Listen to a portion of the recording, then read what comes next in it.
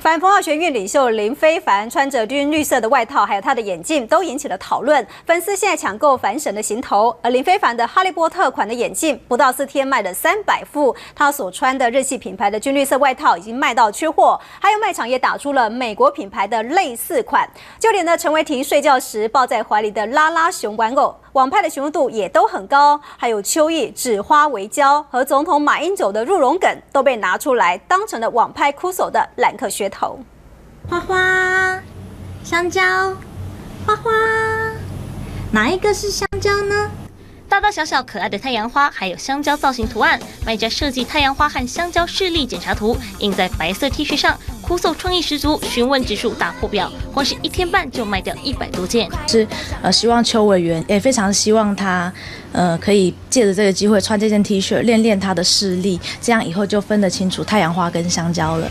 这款打出凡神的哈利波特造型黑框眼镜，跟林非凡的眼镜是类似款。林非凡的款比较细，但类似款框架稍微粗一点。不过因为设计相似，打着林非凡款不到四天就卖了三百多副。就是早上我睡觉起来就已经卖光，然后马上紧急追加一百副，然后第二天也卖光了，然后又不够，然后又追加一百副，现在总共卖了三百副左右，然后也也有批发要跟我批。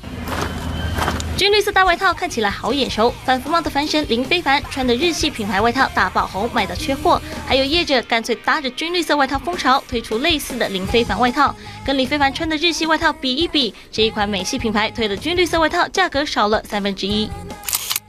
另一位反服贸学生代表陈伟霆被拍到抱着拉拉熊睡觉，也被卖家拿来做卖布偶的噱头，怀里的拉拉熊在网拍上讨论度超高，还蛮有趣的，还蛮有趣的啦，就是。